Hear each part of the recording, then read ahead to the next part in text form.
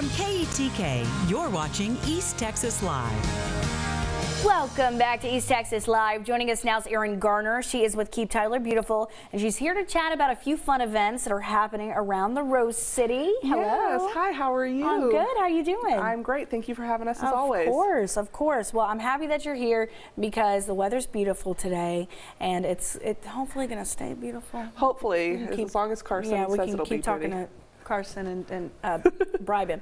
But, you know, people are wanting to be outside right now. They're wanting to go out and do stuff, and you guys have a lot going on. So We do. We have a lot of stuff for people to go do this weekend. We have the Great Tyler Cleanup. That is one of Keep Tyler Beautiful's biggest events. It's going to be at Southside Park.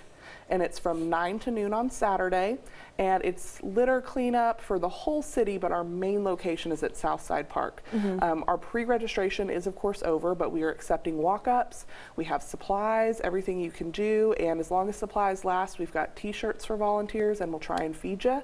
So it's a lot of fun. We also have door prizes at the end.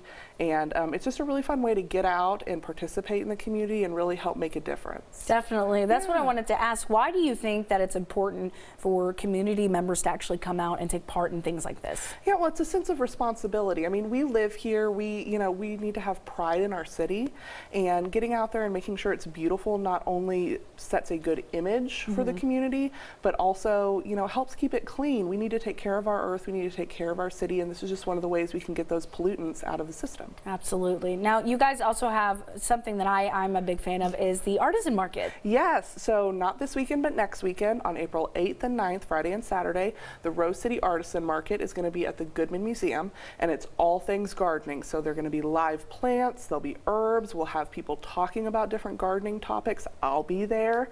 Um, we've got a bunch of different vendors selling garden-specific things, and it's just a, you know a fun activity to get out and do. Um, if you want to come on Friday, it's from 10 to 5, and then on Saturday from 10 to 4. It's free for any visitor, so it's just you know if you need to get out and kind of want to do something different, if you're an avid gardener, whether you have a green thumb or a brown thumb, you are totally welcome. And where did you guys find these vendors? So we actually do a call out. We put it on Facebook, on our website, and we say, you know, hey, if you want to participate, let us know. There's a small fee to participate, but it is open to anybody who wants to come and do.